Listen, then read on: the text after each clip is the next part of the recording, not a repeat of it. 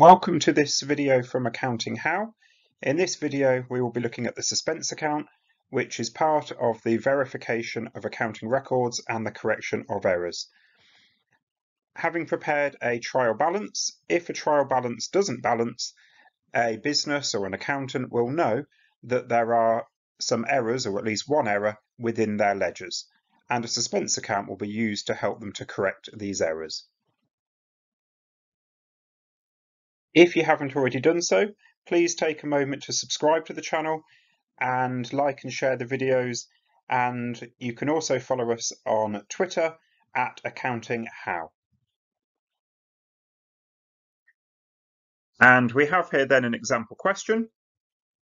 And there's a couple of ways you could play this video. You might decide to pause now if you feel relatively confident in this topic and have a go at this question. And then once you're done, play the rest of the video and work through and check against your own work. Or if you just want to have a bit of a revision or you are starting this topic pretty much from scratch, you might just want to continue to play and work through the question with me.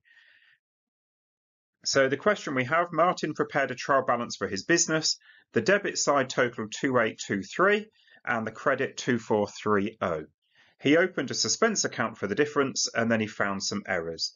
My advice when you're doing these questions is just to skim through these errors. Don't read every single word, all of the figures, just get a feel for them. So the first one, some property repairs have been entered in the premises account. Second one, the sales journal was overcast, it's too much. The third one, discount received, has gone in discount allowed. And the fourth one, we've had a check from Colin, who's a receivable. Um, they put it in the cash book, it says, but no entry made in receivables ledger and they're asking us to prepare the suspense account for Martin's business.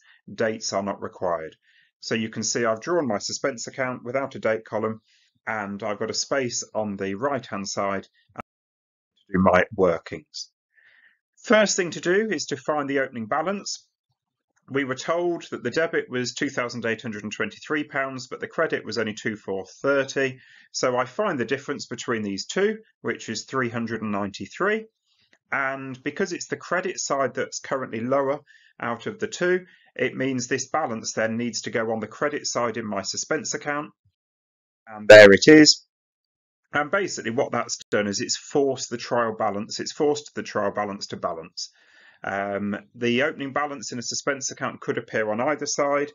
It just needs to go on the side which has the least on it, the side that's the lowest out of the two, as I say, in order to force the trial balance to balance. And so we're ready now to have a look at the errors.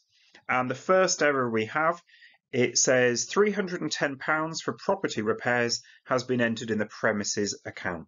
There's a couple of ways to think about this error. All of these errors, it's important that you can recognise the type of accounts. That's going to be one of the big secrets to this uh, topic. And by type, I mean, are they expenses, assets, drawings, income, liabilities, or capital? Uh, you might be familiar with various acronyms such as uh, DEAD CLIC. So if I look at this first one, property repairs is an expense, whereas premises, that's something that Martin owns, so premises is an asset. So what's happened is an expense has been entered into an asset account. And expenses and assets are both debits. So what we can learn then is that he's got the type of account wrong, but he's got the side right. He's debited the, uh, an account, which he should have done. He should have debited an account, but he's got the wrong type of account. He's put it in an asset when it's actually an expense. And if you know your CROPOC errors, you will know then that if you've got the type of account wrong, but the side correct, as in he's put it on the debit, which in this case he has, he's got the side right, but the type wrong, therefore this is an error of principle. And errors of principle, indeed all CROPOC errors, any CROPOC error, doesn't need a suspense account to be corrected. So this one doesn't need to go into the suspense account. And if you can recognise that, then you're done straight off, you're ready to go on to the second one.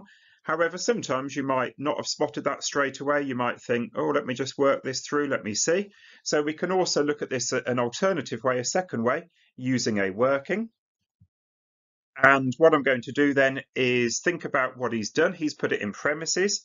So in my workings, I'm going to draw a premises account and he would have put that on the debit because it's an asset, £310. I've just put bank. I don't know how he paid for these repairs, but I'm just going to uh, go with bank. And we know it should be in the property repairs account. Well, then in order to correct this, all I need do, I want to end up with it here on the debit of property repairs. So quite simply, all I need to do then is to credit premises and then send that to the debit of property repairs. So let's have a look. Um, credit premises, send that to the debit of property repairs, and, it, and the error is corrected. So in order to correct it, we've established, we've confirmed that we didn't need the suspense account. I've still done a double entry. We always need double entries. I've done a double entry to correct it, but I own all I had to do was use the premises account and the property repairs account. And that's because, as we said, it was one of the CROPOC errors. It was an error of principle watch out for these and these kinds of questions. Quite often there are CROPOC errors and non-CROPOC errors given in the list. So be alert, watch out, don't fall into the trap. If it's a CROPOC error, it doesn't need to be entered into the suspense account because CROPOC errors don't need a suspense account um, to be corrected. The next one then, let's have a look. We have the sales journal was overcast by £82. Well, the sales journal is one of the books of original entry, and so when that has been totaled up, casting is just a bit of an old-fashioned word for adding or totaling, um, so it's been overcast. When it was totaled, it's £82 too much.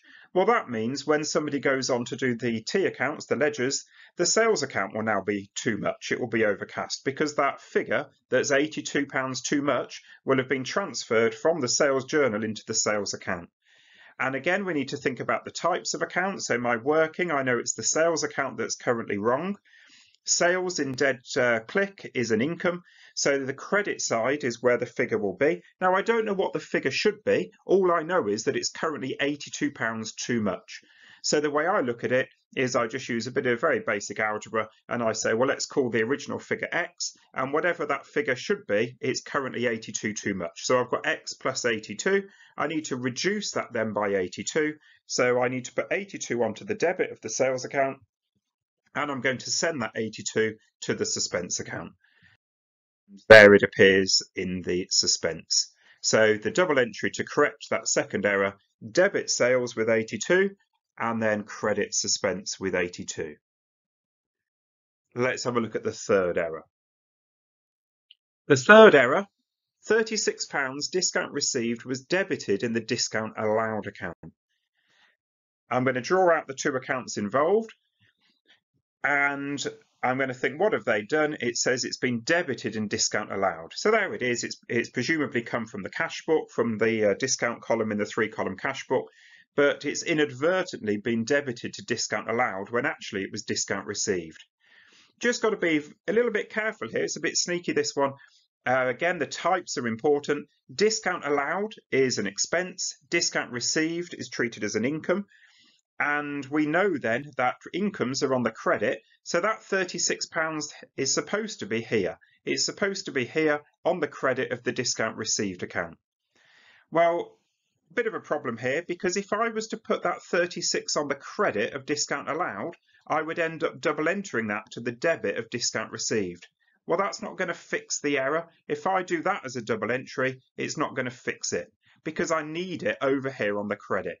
So I'm going to have to deal with this in two stages. And the first thing I'm going to do is remove it, if you like, from the discount allowed account. So I'm going to credit discount allowed because that will offset the 36 that's gone on the debit. And I'm going to send that to the suspense. And there it is appearing on the debit of the suspense account. But now I need to put it in the discount received account where it should have been in the first place. So we've said discount received, we credit because it's an income. Credit discount received with 36 and now send that to the suspense account. Put another way, in order to correct that error, I've had to do, sorry, two double entries. I've had to do one to kind of undo the original mistake and get it removed from the discount allowed account. And then I've had to do a second double entry to actually enter it where it should have gone in the first place, which was on the credit of the discount received account. And the fourth error, uh, the last one, a cheque for £403 received from Colin, a trade receivable, was entered correctly in the cash book, but no entry was made in the receivables ledger. So the receivables ledger, a ledger is just a book, an account, a name for an accounting book where which contains T accounts, and the receivables ledger, the receivables book, just contains all of the T accounts of trade receivables. So basically, it's gone in the cash book, but they haven't put it in Colin's account. So the account I'm looking at then is Colin. And Colin, if he's a trade receivable, again, think about the type. Trade receivables are assets because Colin owes me some money. We don't know how much he owes me, but there must be a balance in his account. We've been selling him stuff on credit. So I'm just, to help me with my thinking, I'm putting a brought down balance um, on the debit. I'm just putting BD. I'm not writing balance because it's only a quick working, but it just helps me think about this. So Colin owes me some money. That's an asset on the debit, but he's then paid me £403 and that hasn't been recorded, but that reduces what he owes. So I need to put on the credit then, I need to reduce what he owes me, that £403. And if I'm crediting Colin, I'm going to debit the suspense account. And there we can see it, debit um, suspense from Colin 403. That's all the errors looked at, sorted. The first one we didn't do because it was CROPOC, but the other three needed the suspense account. We have dealt with them, we've corrected them. And the final thing then is to total up the suspense account. In reality, businesses um, may have may well have a running balance in a suspense account because that means there are errors that they still haven't identified and found. But hopefully, if it was right, uh, we would end up resolving the suspense account and it would total. And indeed, in this case, I can see the debit. If I add up the debit, it comes to £475. And indeed, the credit also comes to £475. So that means that the business, Martin's business, no longer um, requires a suspense account. We have identified and corrected the errors that were causing that initial difference of £393 in the trial balance. Thank you for watching the video. I hope you found it helpful. If you did, please give us a like, share, subscribe, and follow us on Twitter at Accounting How. If there's anything you'd like to see in future videos, please just let us know in the comments. Thank you very much.